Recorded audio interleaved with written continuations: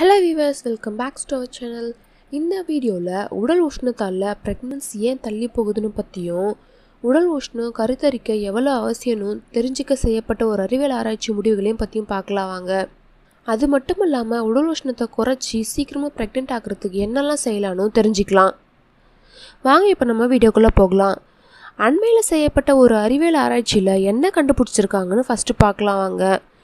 நல்லா வெயில் காலத்தில் கருப்பையில் இருக்கக்கூடிய கருமுட்டை செல்களை ஆராய்ஞ்சு பார்த்ததுல கருமுட்டை வந்து கருவாக மாறும் திறன் ரொம்ப கம்மியாக இருக்குன்னும் அது மட்டும் இல்லாமல் கரு உருவாக ஆரம்பித்தாலும் அதிக உடல் வெப்பத்தால் கரு நிற்காம கலைஞ்சிறதாகவும் கண்டுபிடிச்சிருக்காங்க.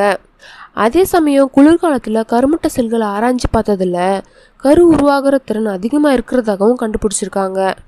இதிலிருந்து என்ன தெரியுதுன்னா வெயில் காலத்தில் ஏற்படுகிற அதிக உடல் வெப்பநிலையினால் கரு நிற்காமல் போகுதுன்னும் இதுவே உடல் உஷ்ணம் கம்மியாக இருந்தால் சீக்கிரமாக ப்ரெக்னென்ட் ஆக முடியும்னு கண்டுபிடிச்சிருக்காங்க.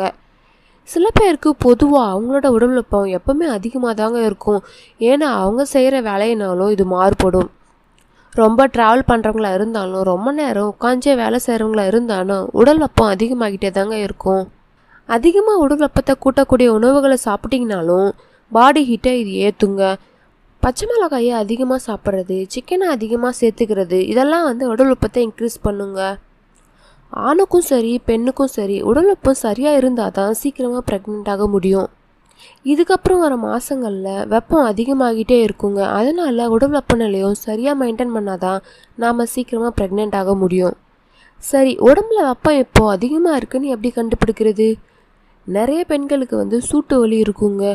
அதாவது பாடி ஹீட் வந்து அதிகமாக ஆகும்போது வயிறு வலி வரும். சில பேருக்கு மலச்சிக்கல் வரும். இன்னும் சில பேருக்கு வெள்ளப்படுதல் கூட அதிகமாக இருக்கும். ஹீட்னால் மட்டும் வெள்ளப்படுதல் ஆகாது. ஆனால் இதுவும் ஒரு ரீசனாக இருக்க நிறைய சான்ஸ் இருக்குது கண்ணெரிச்சல் தூக்கமின்மை மன அழுத்தம் இதெல்லாம் கூட சில பேருக்கு வருங்க. சரி நம்ம உடல் வெப்பநிலையை எப்படி குறைக்கிறது கேட்டிங்கன்னா அதுக்கு நிறைய வழி இருக்குது வாங்க அதை நம்ம ஒன் பை ஒன்னாக பார்க்கலாம். ஃபஸ்ட் ஒன் என்னென்னா சின்ன வெங்காயங்க. சின்ன வெங்காயம் உடம்புக்கு ரொம்பவே குளிர்ச்சி. நீங்கள் சாப்பிட்ற உணவில் இதை அதிகமாக சேர்த்துக்கோங்க. மேலும் சின்ன வெங்காயம் மருத்துவ குணம் மிக்கது. இது தொடர்ந்து நாற்பத்தெட்டு நாள் நீங்கள் சாப்பிட்டு வந்தீங்கன்னா கருப்பையை நல்லா பலப்படுத்தும்.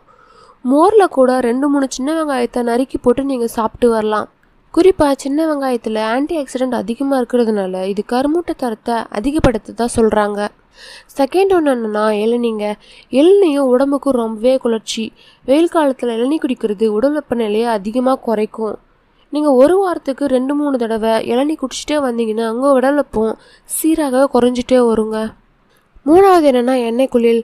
எண்ணெய் குளியல்லாம் வேறு ஒன்றும் இல்லைங்க. நம்ம வாரத்துக்கு ஒரு முறை எண்ணெய் வச்சு குளிக்கிறது. வாரம் ஒரு முறை சில துளி நல்லெண்ணெயை தேய்ச்சி குளித்தா நம்ம பாடி ஹீட் வந்து ரொம்பவே கம்மியாகும். நாலாவது என்னன்னா அதிகமாக தண்ணி குடிக்கிறதுங்க.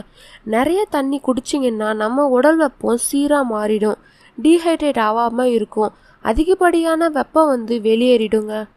அதிகமாக சூட்டு வலி வந்துச்சுன்னா அதாவது வயிறு வலி வரும்போது ரெண்டு துளி விளக்கண்ணியை நீங்கள் தொப்புளில் வைங்க. இது உடனே உடல் வெப்பத்தை குறைச்சிரும். அஞ்சாவது என்னென்னா மருதாணி. இயற்கையாக மருதாணி இலைங்களை அரைச்சி பாதத்துலேயும் கைகளையும் வச்சுக்கோங்க. மருதாணி இலை வந்து குளிர்ச்சியை கொடுக்கறது மட்டும் இல்லாமல் தேவையற்ற பித்தத்தையும் குறைக்கும். இந்த டிப்ஸோடு சேர்த்து நீங்கள் ஃபோலிக் ஆசிட் அதிகமாக இருக்கிற உணவுகளை அதிகமாக சாப்பிடுங்க. ஏன்னா ஒரு ஆராய்ச்சியில் ஃபோலிக் ஆசிட் அதிகமாக இருக்கிற உணவுகளை நம்ம இயற்கையாக எடுத்துக்கும் போது இது கருப்பையை பலப்படுத்தி சீக்கிரமாக ப்ரெக்னெண்ட்டாக ஹெல்ப் பண்ணுதான். அது மட்டும் இல்லாமல் கரு கலையாமல் இருக்கிறதுக்கும் இது ஹெல்ப் பண்ணுறதா கண்டுபிடிச்சிருக்காங்க. ஸோ கண்டிப்பாக நீங்கள் சீக்கிரமாக ப்ரெக்னென்ட் ஆகணும்னு நினச்சிங்கன்னா ஃபோலிக் ஆசிட் அதிகமாக இருக்கிற ஃபுட்டை வந்து எடுத்துக்கோங்க. ஒருவேளை உங்களுக்கு ஃபோலிக் ஆசிட் அதிகமாக இருக்கிற உணவுகள் எதுன்னு தெரியலனா அதை பற்றி போடுங்கன்னு நீங்கள் கமெண்ட்டில் கேளுங்க.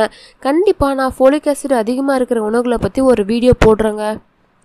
ஸோ விவஸ் இந்த வீடியோ உங்களுக்கு பிடிச்சிருந்தா மறக்காமல் நம்ம சேனலை சப்ஸ்கிரைப் பண்ணிக்கோங்க. தேங்க்ஸ் ஃபார் வாட்சிங்